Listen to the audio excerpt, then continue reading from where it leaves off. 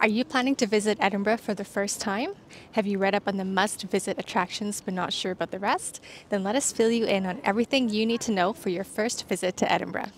A large part of this video is applicable to Scotland as a whole, while other parts are more focused on Edinburgh. Let's get into it.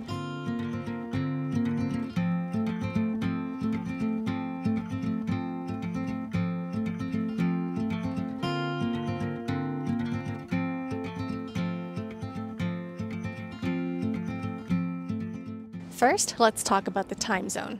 Edinburgh and Scotland are in the Greenwich Mean Time, or GMT, time zone, which is the same as London. During daylight savings time, it changes to British Summer Time, or BST, which is GMT plus 1. Next, languages. Many languages are spoken in Edinburgh and Scotland, but the main language spoken is English. Scottish Gaelic and Scots are also spoken in Scotland, though to a lesser extent.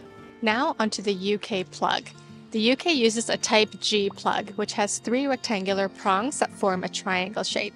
The plug operates on a 230 volt supply voltage and 50 Hz. Devices like mobile phones, laptops, and camera batteries will charge without issue with a travel adapter. However, you may need a voltage converter for other appliances like hair dryers and hair straighteners or curlers. Let's talk about currency now. Scotland uses the pound sterling, which is the same as the rest of the UK, which comprises of England, Wales, and Northern Ireland. UK banks all print their own notes, which is why you might find the same value notes with different faces on them. In Scotland, the Bank of Scotland, the Royal Bank of Scotland, and Clydesdale Bank all print their own notes. We've never encountered any issues with having Scottish notes, but we have heard of Scottish notes being refused in England. Some countries might also refuse to exchange money if you give them Scottish notes, so we would advise that before you leave Scotland, you exchange any leftover Scottish notes for Bank of England notes. You can generally go to any bank and ask them to exchange your notes for you. Now, how can you pay for things? Cash and debit or credit cards are accepted. Since the pandemic, many businesses prefer customers to pay by debit or credit card, but it doesn't hurt to have some cash with you as well. When it comes to cards, Visa and MasterCard are the most widely accepted. Now, where can you withdraw cash? Most ATMs offer free cash withdrawals and are dotted all over the city. A simple Google Maps search should show you the ATMs closest to you. Just make sure that the ATM clearly states that cash withdrawals are free before you use it. Keep in mind though that this just means that there is no ATM fee, so be sure to check if your card has any fees for cash withdrawals before you travel. Let's talk about the weather and climate now. The climate is quite mild in Edinburgh year round, but can be quite windy. Oftentimes, you can experience the sun, clouds, rain, and wind all in one day. People that are used to living a bit closer to the equator are often surprised at how long the summer days and how short the winter days are in Edinburgh. On the longest day of the year, the sun rises just before 4.30 in the morning and sets just after 10 o'clock at night. And on the shortest day of the year, the sun rises just after 8.30 in the morning and sets just after 3.30 in the afternoon. Now, what clothes should you bring? Layers, layers, and more layers.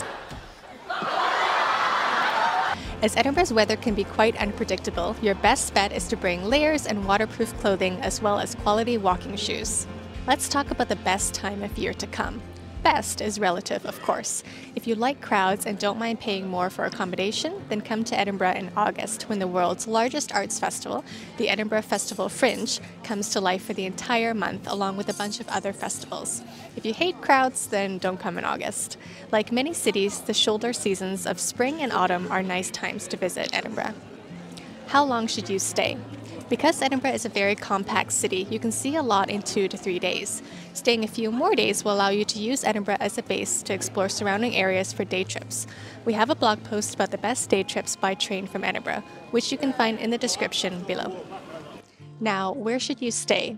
If you really want to be in the thick of everything, Old Town or New Town would be the best areas to stay. Going a little bit further, although not by much, Stockbridge, Dean Village, and the South Side, which is southeast of Old Town, are good options as well. For first timers, we would recommend Old Town or New Town, and there are a variety of accommodation options to suit all budgets. How to get around. Since Edinburgh is a very compact city, that makes walking the best way to get around, and also why we mentioned bringing quality walking shoes earlier. Do know that the city also does have seven hills, so some areas are a bit steeper than others. For destinations a bit outside of the city center, it's easy enough to take the bus or train. We also have a full video on how to get around Edinburgh, which you can find in the description below. We'll move on now to how much to budget. Of course, how much you decide to budget largely depends on how much you have to play with. We have a table with some estimates in our accompanying blog post, but for accommodation, food, and transportation, per person per day, you would be looking at approximately £40 on a low budget, £120 on a medium budget, and over £210 on a high budget. This is also assuming you're visiting in the shoulder, not high season. Let's talk about water now. Tap water is safe to drink in Scotland, and Scottish Water introduced top up taps across the country, where you can refill your reusable water bottle when you're out and about. There's a handy online map that shows all top up tap locations in Scotland, which you can find in the description below.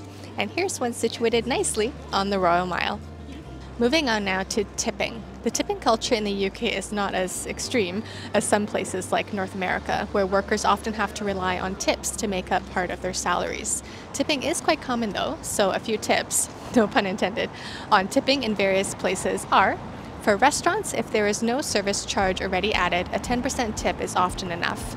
In hotels, feel free to tip housekeepers, bellhops, and doormen a pound or two. And in taxis, rounding up to the next pound is customary. And last but not least, how to pronounce Edinburgh. Well, if you've watched this video or any of our other videos on Edinburgh, then you likely know how to pronounce it. We've noticed that many North Americans pronounce Edinburgh like Edinburgh, but that's not right, and it's not Edinburgh either. Repeat after me Edinburgh. As mentioned earlier, we have an accompanying blog post on a first timer's guide to Edinburgh, which you can find in the description below. We also have lots of other Edinburgh videos that you may find helpful, which you can also find in the description below. We hope you found this video helpful. If you have any additional questions about Edinburgh or Scotland, let us know in the comments below and we'll be happy to help. Please give this video a like, subscribe to our channel, and we'll see you in the next video. The summer, the